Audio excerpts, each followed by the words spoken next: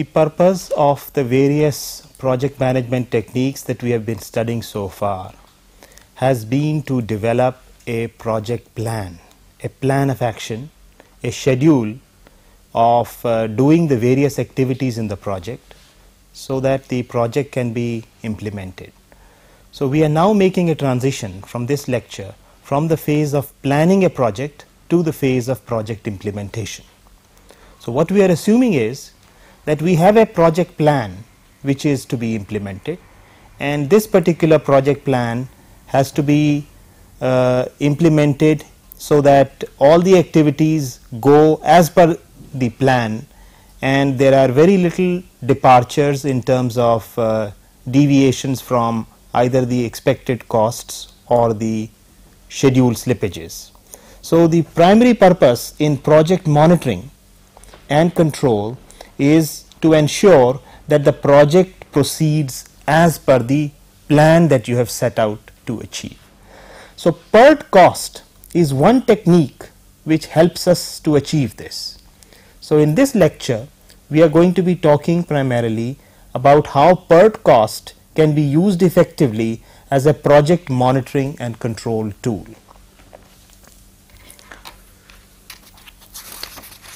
To give you a bit of a background, PERT cost was developed in the United States by the Department of Defense and NASA way back in 1962.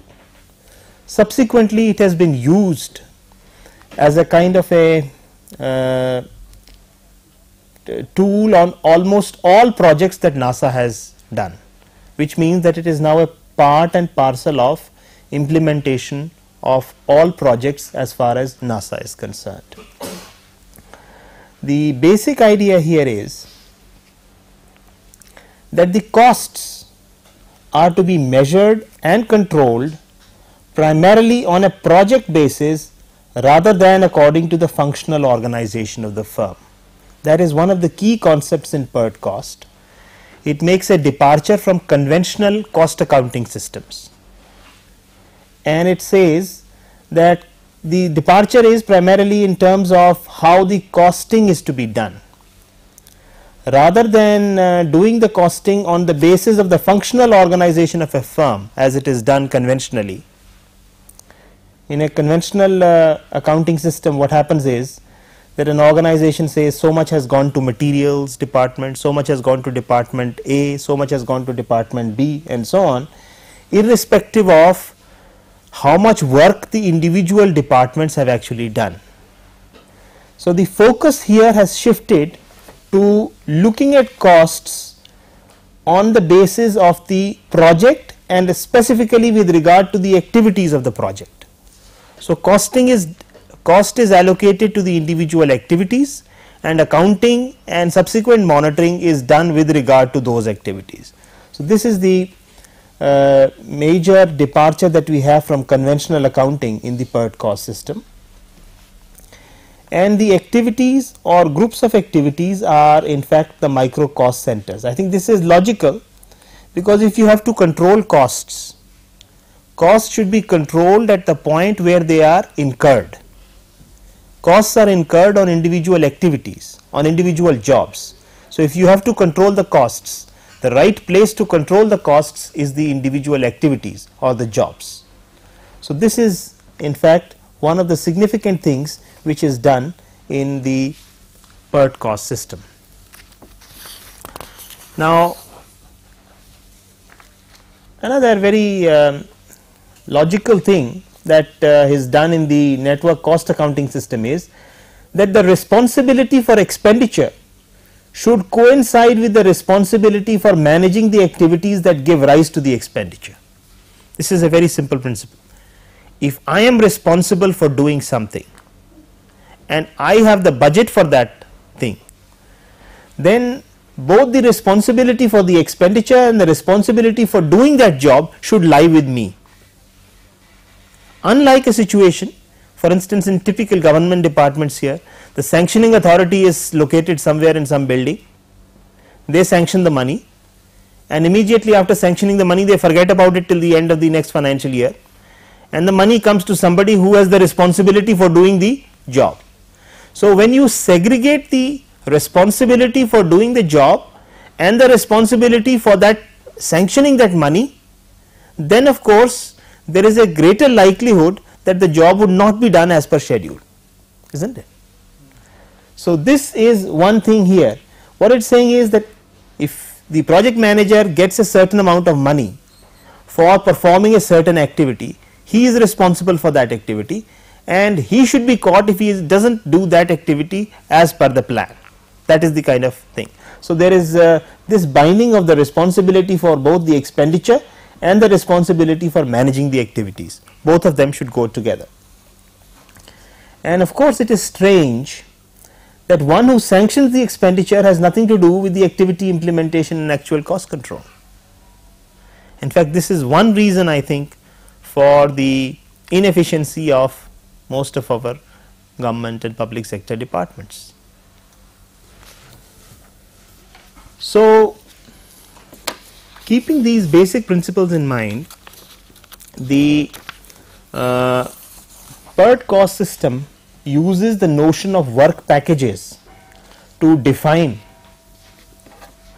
the various uh, stages in which the project ought to be monitored and also the manner in which it ought to be monitored. Now, what is a work package? A work package is nothing but a chunk of the project, a part of the project. It could be an activity or it could be a set of activities. So, a project can be divided into work packages in various ways.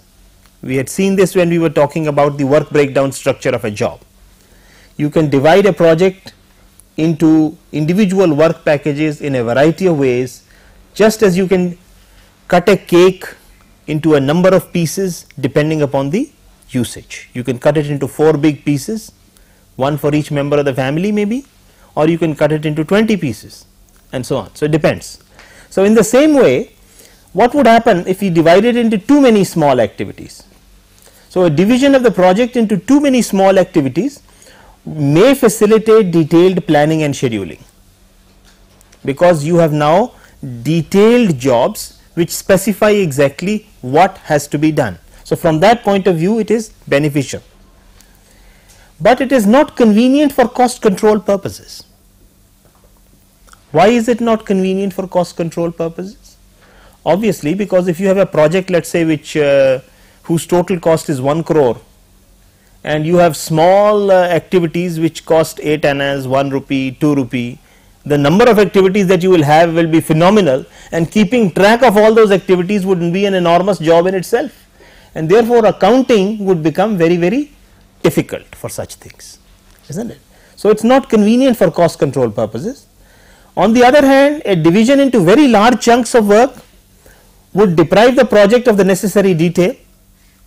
For instance, uh, the the uh, if you can uh, look at the after all the project itself if you do not divide it at all is one project. So, you monitoring the project as a project you would not know because you would not know which are the parts of the project which have to be monitored. So, it deprives the project of unnecessary detail and is not conducive to effective monitoring and control. This kind of thing is not conducive to effective monitoring and control because there are no stages, there are no parts where you can check. You would like to find out okay, project has 15 parts, we will check each part and at the end of two parts we should be able to say yes so much two parts are over or three parts are over. So, in that sense uh, large chunks also are not necessary. So, the conclusion really is that if you have to do effective monitoring of a project, you should be able to divide the project into manageable work projects which are neither too big nor too small. And in fact, that is the key notion in uh, PERT cost. The recommended work package, what should be the characteristic of the re recommended work package? Work package is nothing but a collection, a chunk of the project or a collection of activities in the overall network. The recommended work package should be neither too small nor too big. Okay. I mean it should be manageable. That is what we have seen because if it is too small then also it is useless. If it is too big then also it is useless. But what do we mean by too small or too big? These are relative terms and would have to be defined for each project individually. Though of course, uh, the DOD and NASA guide they considered uh, too big or not too small say about 100,000 worth 100,000 dollars worth and 3 months duration as appropriate. So, this was the recommendation of the Department of Defense NASA guide when they proposed the work packages. They said each work package should be about so much worth in terms of money and should be about 3 months duration and this is appropriate. But obviously these figures would depend upon the context and you can define your own figures. These are some guidelines that they had given. The second feature of a work package should be that the responsibility should be easy to identify. Preferably each work package should be uh, or would be done by maybe one particular individual or one particular agency right. For instance, if Engineers India Limited has one large project of sending setting up a maybe a thermal power plant somewhere maybe the electrical installations and the ducting they would have probably subcontracted to some agency like Larsen and Toubro. So, Larsen and Toubro then becomes a subcontractor for Engineers India Limited in doing this particular project and their job is to look after a couple of work packages pertaining to the electrical installations. So, whenever you are trying to monitor the progress of those work packages, you can clearly identify the responsibility and you the project manager can immediately identify okay this is the responsibility of Larsen and Toubro. So, if there is something wrong he can immediately pick up the telephone call up Larsen and Toubro immediately and get in touch with the number say that work package number 493 is not going as per schedule immediately. So, this is one other advantage of uh, properly defined work packages that the responsibility can be clearly identified and the work packages should be still small enough and manageable for planning and control purposes. So, these are the three major uh, requirements you can say of a work package. So, what we now conceive is that the original project network is now conceived in terms of these manageable work packages and we develop the project network in terms of these work packages where the work packages are regarded as the activities of that particular project.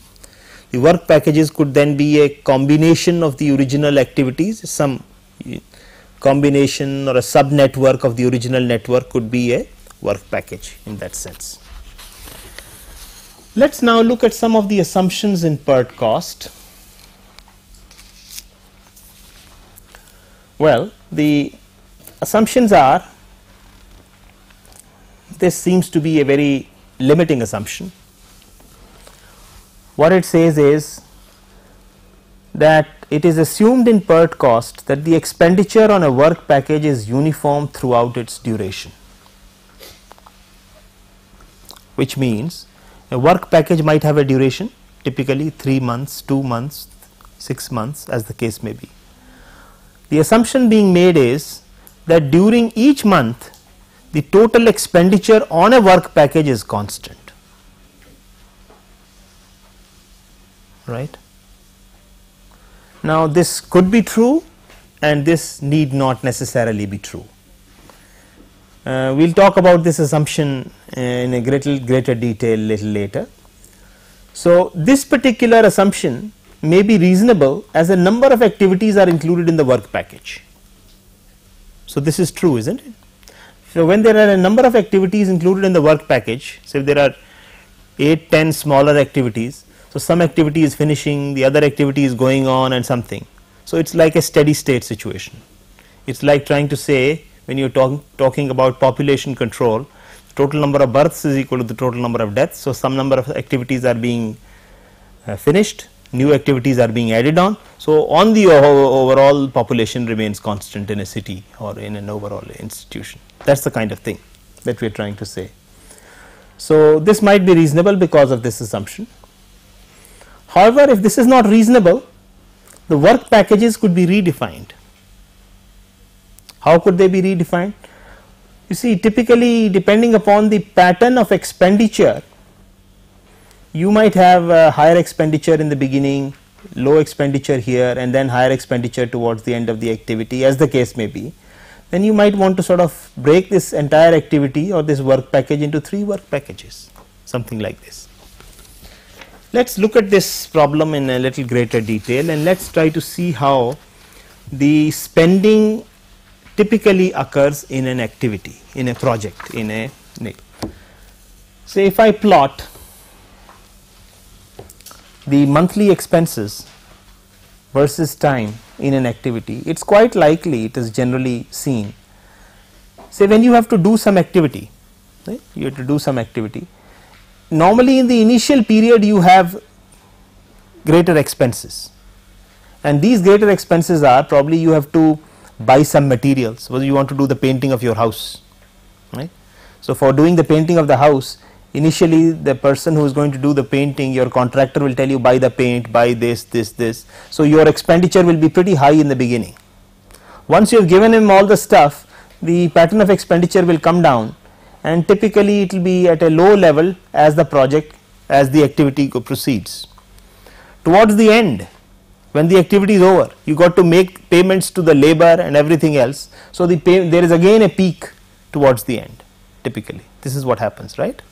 So, one can expect that uh, in a typical activity the pattern of expenditure will show an initial peak a gen common uh, period when the activity is going on and finally a situation when there would be a final settlement of expenditure with all the contractors. So, you have all the money has to be shelled out during this particular period and uh, this would be the nature of the activity. Now, one thing is if there are a number of activities of this kind then each with its own peak quite likely that every, all of them added together will give you a uniform peak and therefore, the assumption that you have made in the PERT cost about uniform pattern of expenditure would remain valid. But suppose this was a very critical activity and in this uh, this was a single work package and this assumption is not valid. What you can do is you can sort of conveniently break this down into three distinct phases in this manner and I can then define as it were three activities. The first activity when the pattern of expenditure is this high, the second activity from here to here when the pattern of expenditure is low and then the third period when the pattern of expenditure is high and then during each of those activities I would have a uniform pattern of spending. So, even if the pattern of spending is not uniform by suitably redefining my work packages it is generally possible to conform to this assumption of uniform pattern of spending even when you have non uniform patterns of spending just as I indicated here. So, with this background let us now try to see how these concepts can be utilized for project monitoring and control right. So, for that let us take a sample network and let this be our sample network. This is a network which has 8 nodes as shown here. It is an activity on arc representation and what you see here is that the we have uh, the first number in the parenthesis is the duration in months and the second number in the parenthesis is the cost in thousands of rupees right. So, what it means is simply that activity 1 2 is an activity which will take 2 months and will cost us 40,000 rupees and we have similar figures for each of the other activities in the project network. Now, you imagine that these uh, individual uh, activities are nothing but work packages that means we have already considered and maybe combined certain activities and these are the revised work packages which have to be uh, monitored and controlled as far as the project is concerned okay. So, what we can do is we can uh, very easily we can easily find out the duration of this project. How can we find out the duration? It is very simple we can do a forward pass right. So, let us do a forward pass for instance this is time 0 for the project and this is 2 months and this is going to be 2 months again. Then uh, coming to node 5 this is going to be 4 months. Coming to node 4 this is going to be 6 months.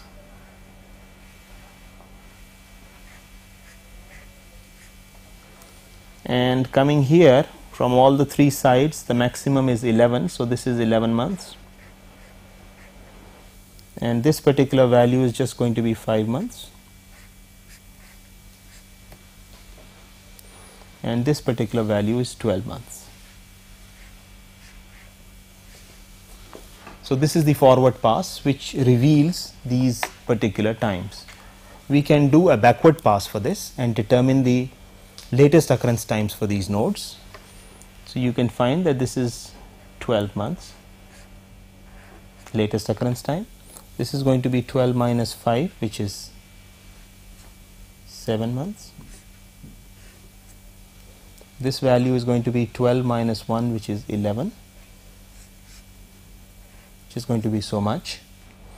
And then 11 minus 5 is 6 11 minus 3 is 8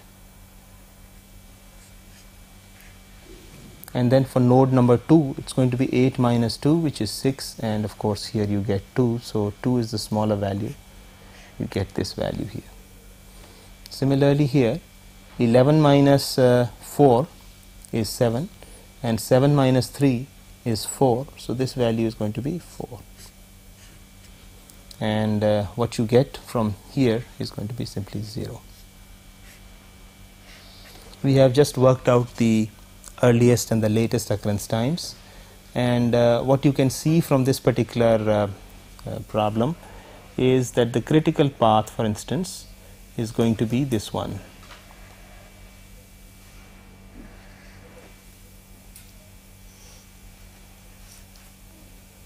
This is the critical path in this particular project.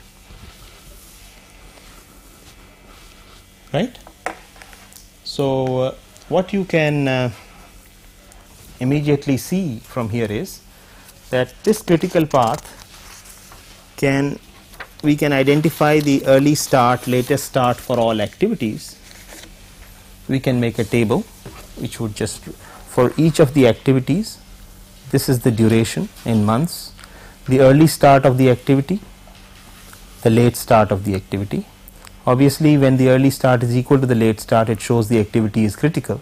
For instance, 1 2 is a critical activity and 2 4 is a critical activity and similarly 4 6 is a critical activity and 6 8 is a critical activity as we just determined. And the total cost in thousands of rupees is known to us for each of the each of these activities. So, we just write it down. Then what we do is we compute the cost per month Cost per month is obtained by dividing the total cost by the duration because we are now making an assumption that if this activity costs 40,000 rupees it means in each month you are spending 20,000 rupees and so on. So, we have computed this figure of 20, 25, 15, 30, 20, 20, 10, 25, 40 and 20 for each of these activities as we go along in each of these periods right. Now, just to continue the uh, computations, we would like to we will have to first draw a sort of a time scaled network and uh, we will consider the two possible extremes the early start schedule and the late start schedule. For instance, the early start schedule for this project looks like this. You find there are 8 nodes in the network. This is a time scale network right. So, this is the first period second period and so on. There are 12 months in the project. This project lasts 1 year 12 months. And uh, what we have is if we follow an early start schedule then these are in fact the floats associated with tasks 2 5 and 5 6 right? And similarly here and similar. So, this is the early start schedule and the figures adjacent to each activity are the monthly costs which we had just computed. So, what you can do is you can now do a, something like a, a resource aggregation exercise which we had done. So, when you do a resource aggregation exercise you can find out what is the total expenditure that is being committed in each period. For instance, in the first period as you see these two activities 1, 2 and 1 3 are actually active they are going on and the expenditure here is 20,000 rupees per month and 25,000 rupees per month. So, the total expenditure here is 20 plus 25 which is 45,000 in this period. Similarly, 45 in this period. In this particular period 1, 2, 3, 4 activities are active. So, 30 plus 15 plus 20 plus 20 is 85. So, 85,000 rupees will have to be incurred in this particular month and so similarly 85 here, 80 here, 80 here, 55, 30, 30, 30 and finally in the last period only 40 and only 10 is going on in this particular period because this is the only activity which is going on. All other activities are over. From this figure of uh, this is the monthly expenditure. This in itself is a very useful uh, bit of information for purposes of implementation because it shows it tells you what are the cash requirements for implementing this particular schedule. You require so much so much so much money in individual periods and so on and the cumulative requirements are 45, 90 and so on. So, the total sum of money that is being spent on the project is 606 615,000 rupees right that means 6 lakh 15,000 rupees is being spent on the project over a period of 1 year. And the monthly uh, spendings are shown as shown here. And uh, this is what the early start schedule is giving us. Okay. Now you can do one more thing. You can look at the pattern of expenditure if we instead of the early start schedule follow a late start schedule for instance what would be the implications you can see that the implications are summarized here we draw a time scale network on a late start basis here all the activities are shifted as late as possible so you have the dotted lines uh, here prior to the activities. So, most of the activities are going on towards the later period. So, what you find is now for instance that uh, during this particular period uh, you have uh, you have a number of uh, uh, costs which are sort of going on. And these costs typically are you know only 20 here 20 here. Mind you this uh, should be a dotted line here because this activity takes only 2 days. It is the latest possible schedule. So, this is actually a dotted line really this one this one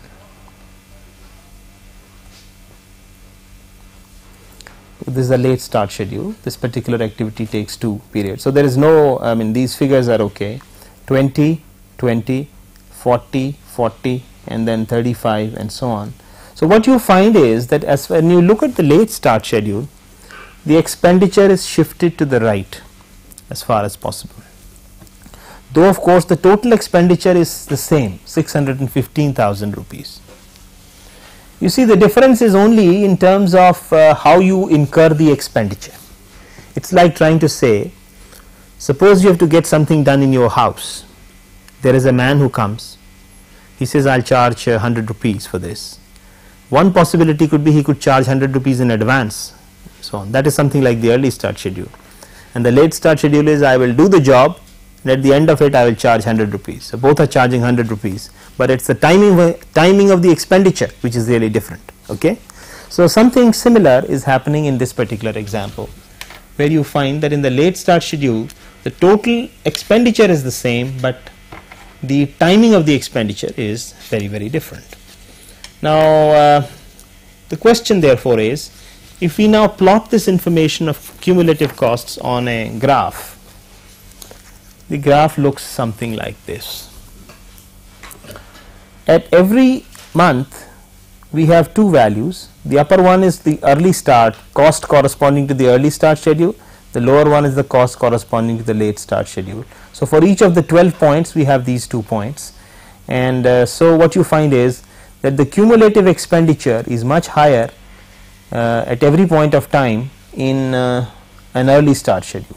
You see what it means is it means simply this that at the end of the 6 months here you have spent something like uh, 405 uh, kilo rupees whereas here you have spent only something less than 200 rupees so far. So, you have greater money in your pocket when you are doing a late start schedule right. It is like trying to say if I have a 100 rupee note and I have asked that man to repair do the repairs if he charged me in advance I would have lost the 100 rupees note right away. But if I pay him at the end of the job I retain the 100 rupee note till the end of the job is over. So, I remain richer till the end of that time and I can earn interest on that money for a longer period of time. So, really speaking the total NPV of expenditure is going to be lower when you are towing a late start schedule as compared to an early start schedule. Which means that if you have to raise the capital through an equity loan or you have to raise the capital from a loan from a bank, you will have to take a lesser loan if you follow a late start schedule as compared to an early start schedule by virtue of this particular fact right. So, the question that naturally one has to answer is out of these two schedules which one is a better schedule to adopt for purposes of implementation. Both schedules give me uh, I mean guarantee that the project is done within 12 months if you follow those schedules, but which one is better? Yes, any responses to that? Somebody would like to say which one is better? Should we follow an early start schedule or should we follow a late start schedule? It depends sir. Because uh, you are doing activity at the late means if it gets postponed by some one day that will incur your cost No, where is the cost? I mean, you Early are start gives us most Because time, uh, like on nodes. precisely. So, as you very rightly identified, the late start schedule will give us a lower value of the NPV of expenditure. So, if you want to minimize your costs totally, the late start schedule would be the ideal thing. You can't have a cost lower than the cost that you get in a late start schedule. But what happens in a late start schedule? Late start schedule you have postponed all activities to their latest possible value and therefore you have no slack available in case an emergency occurs or something happens.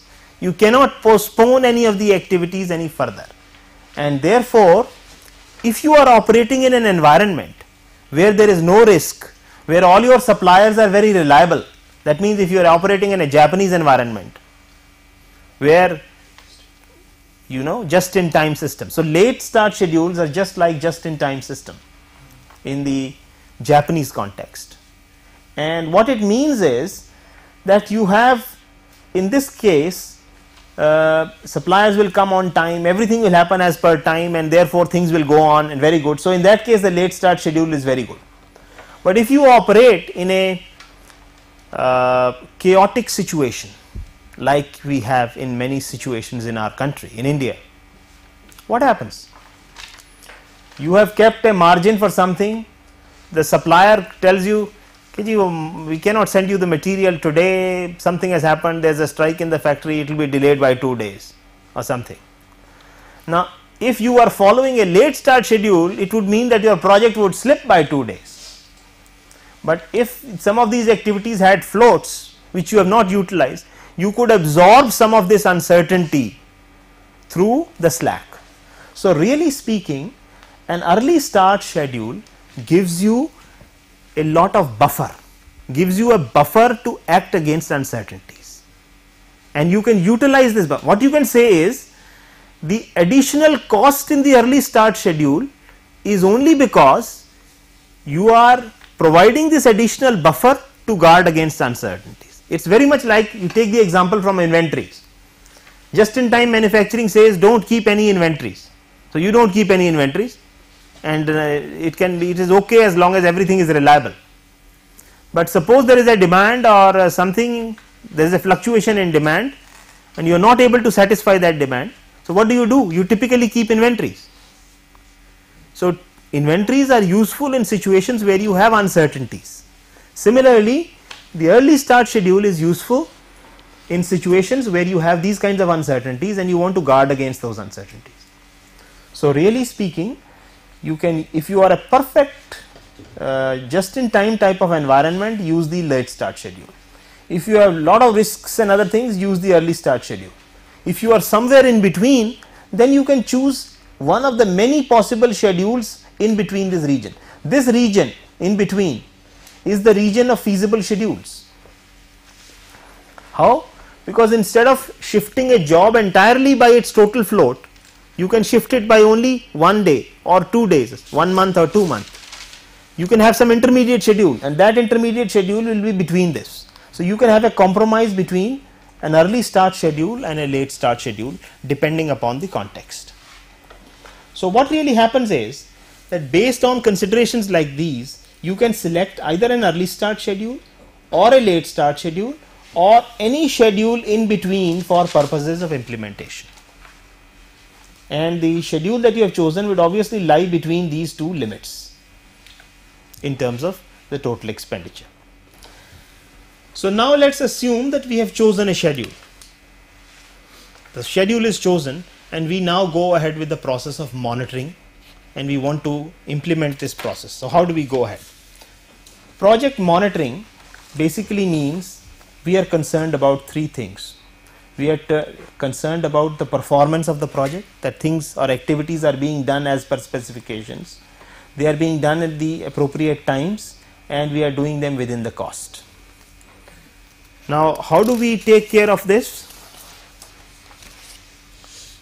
For the three indicators of project progress that is the performance, the time and the cost, there has to be a common reference for purposes of measurement and comparison. The important thing is a common reference. And this common reference is nothing but the original plan or the budgeted cost and value curve which we just uh, determined. So, what we just determined in form of the budgeted cost and value curve that is either an early start schedule or a late start schedule or any schedule in between that serves as a common reference and this is used for finding out how the project is performing as you keep going on. So, that is the important yardstick. Now, how exactly do we do the monitoring? How exactly do we go about monitoring the uh, whole thing? Let us look at that. Basically, we look at three curves. The first curve which we denote by capital A is the budgeted cost schedule and that is shown by a solid line here and this is that portion of the line which we just constructed for an early start schedule or a late start schedule or whatever it might be. So, we have the budgeted cost schedule.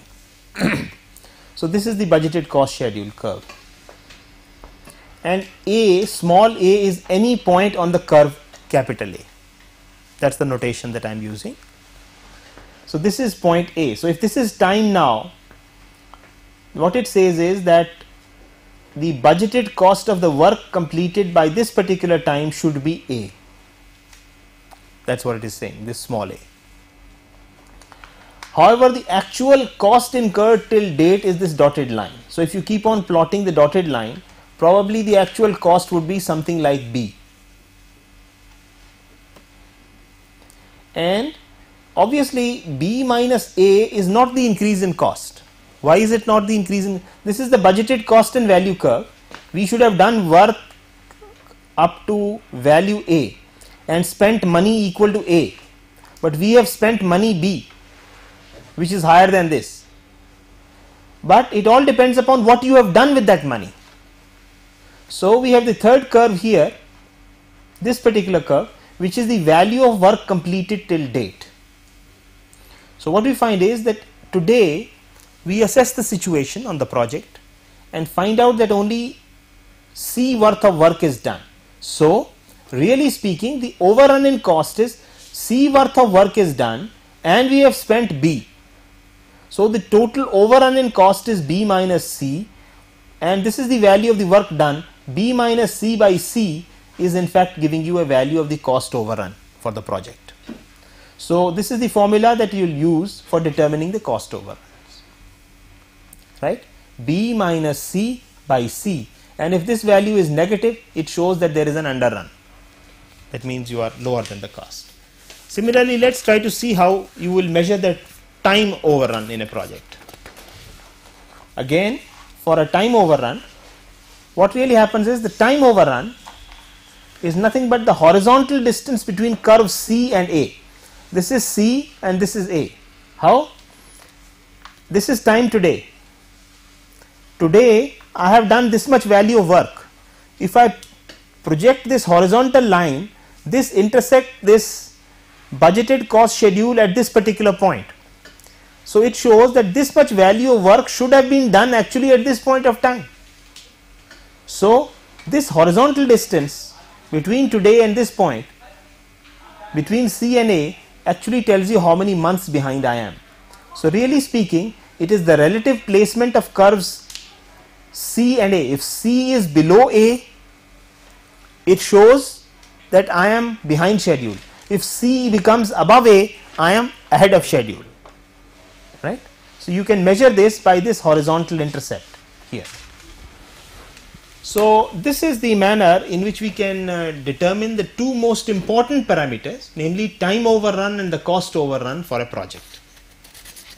Now, there are some cost schedule control systems which is essentially these cost uh, schedule cost schedule control systems criteria cost schedule control systems criteria to the three curves that we called A, B and C they give this name budgeted cost of work scheduled which is A actual cost of work performed is actual cost of work performed in that manner and the budgeted cost of work performed is BCWP and on the basis of these information what you do is you can define a cost performance index and a schedule performance index.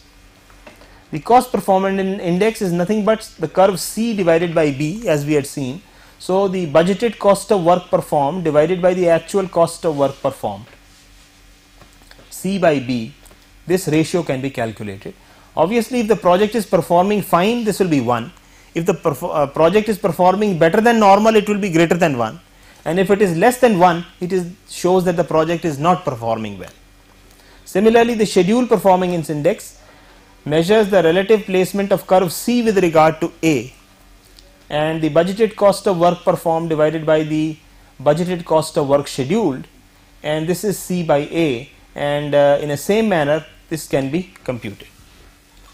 What can then be done is the cost performance and the schedule performance indices computed in this manner because the project manager is interested in both these bits of information together. So, it is uh, good to look at both of them together. So, what is normally done is you can have a graph which would typically be like this. The cost performance index 1 is a uh, okay value, 1.5 is very good and 0.5 is here. Similarly, 0.5 and 1.5 what you can do is you can start for instance in the month of January you might have started off on a very good note so this is the month of January when you reviewed the project so it shows that both are favorable what can happen is that in the month of February when you again you probably move to the marginal zone which means that you are still good on the schedule performance index but on the cost side you have dropped below average below the normal value then in March you might go something like this to an unfavorable situation. Then you might go in April to something like this. Then in May you come here. Then in June you could probably be here. Then in July you could come here. Then in August you could probably be moving here. And then in September you could be moving here so the point really is that at one go, you know that as the project has been progressing, how it has been behaving with regard to the cost performance and the schedule performance. And uh, especially, it should not come in this region of unfavorable. Unfavorable region means it is bad on both the schedule front and the cost front. So this is the unfavorable region. You try to remain here or this, these are two marginal regions. So this gives you a device by which you can find out exactly how the project is been performing on different in different at during different uh, reviews at as the project is going on now just to give you an idea of how this review is carried out we will actually do a review for the project that we had uh, undertaken and we'll try to compute these values for the three curves A, B and C and see what is the cost overrun and the time overrun for a particular project. So let's try to do this example of project monitoring and we will take the same example of the project that we had earlier. Namely, we'll take this very project that we were talking about for which we had uh, computed the early start and the late start schedules. We'll try to work on this particular project.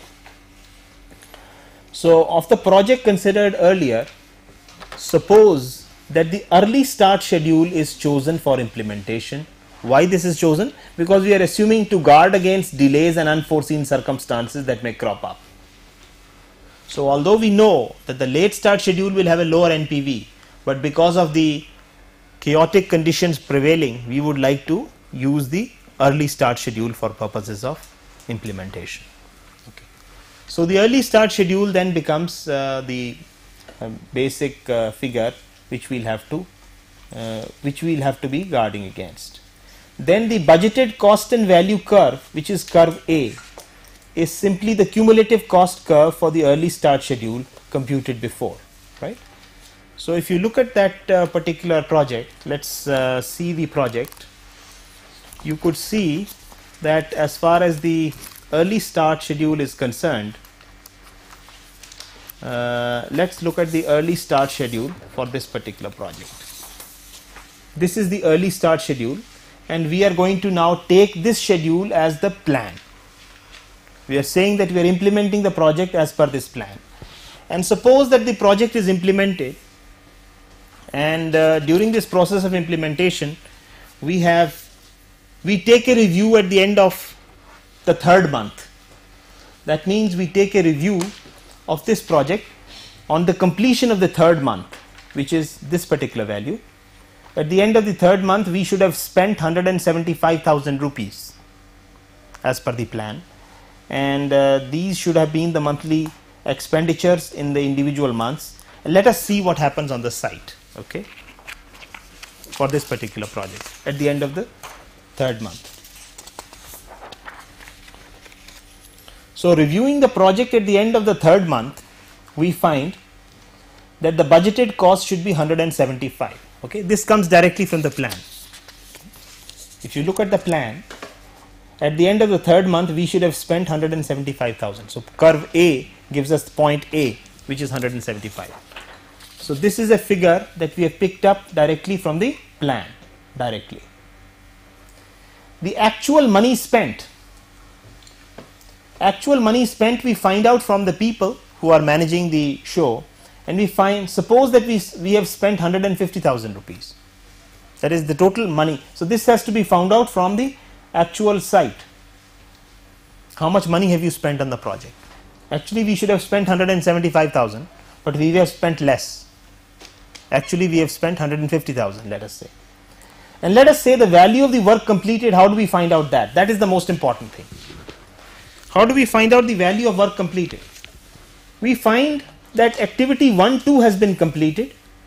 This is the actual status of activities. Activity 2 4 and 2 5 are not even started. This is a field report. And activity 1 3 is 50 percent complete. This is what we find.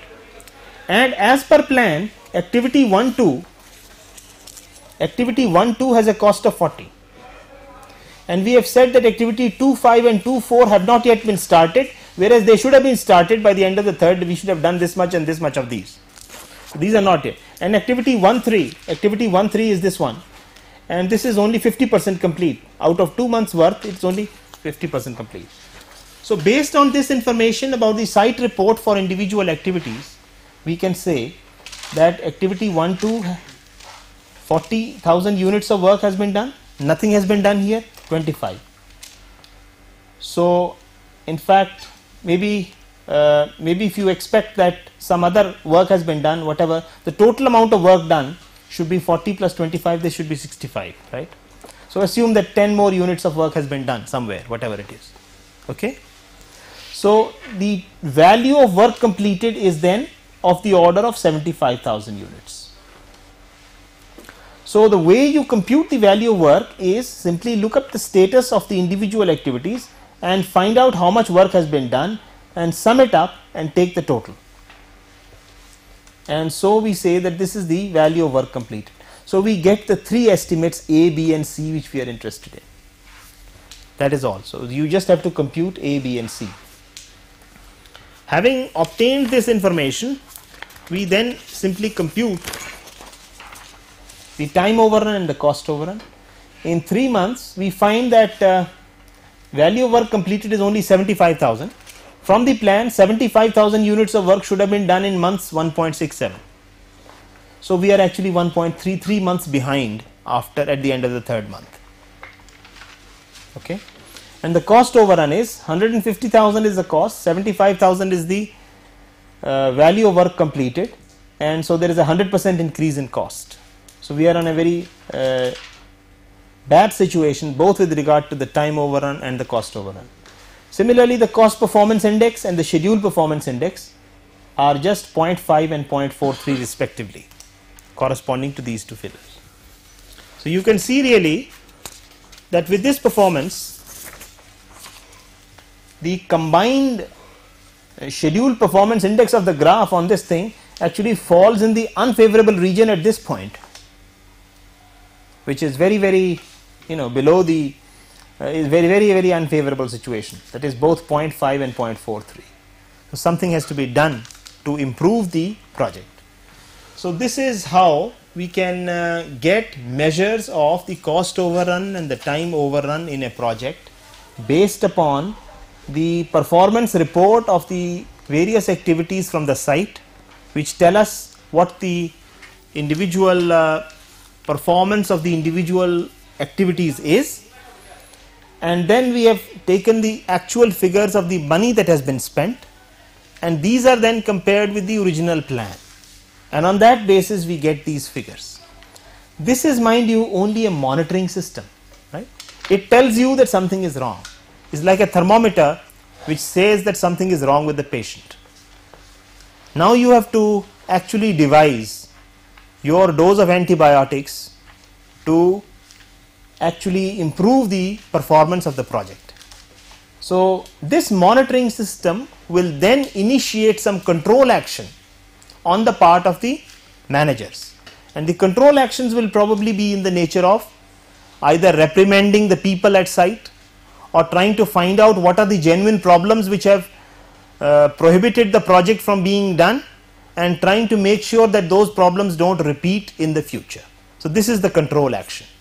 So, monitoring and control of a project is very much linked to the performance uh, at every review of the project. So, this kind of a review can be repeated at every time and this point must gradually improve and hopefully come to the favorable point as you keep on improving the whole project situation. And this movement will be done by suitable medication or suitable control actions that managers will obviously like to take. So, PERT cost as we have seen becomes a very effective tool for purposes of monitoring the progress of a project both with regard to the time, the cost and its actual performance. So, to summarize what we can say is that uh, PERT cost provides a valuable framework for project monitoring by identifying the time and cost overruns at any stage of implementation. That is the primary contribution of uh, PERT cost system. Then it uses a cost accounting system based on the project activities rather than on the functional organization of the firm because all the costing is done with regard to the individual activities and uh, based on that system we have actually worked out how the uh, expenditure is going to take place. the notion of the work package is central to PERT cost. Neither too big nor too small, well defined responsibility, sufficiently detailed for planning and monitoring, and the possibility of schedules to be chosen for implementation. There is a large possibility of which schedule you choose. The it has to be a trade off between the net present worth, the risk, and the convenience that you take, whether you take an early start schedule or a late start schedule or whatever. And finally, project performance, time and cost are the major watchwords in monitoring and control. The project performance, time and cost, these are the major watchwords in planning and control. These can be evaluated and used to compute the time and cost overruns in a project at any stage as we go along, as we have tried to see. And PERT cost, mind you, provides an aggregate measure of how the project is doing.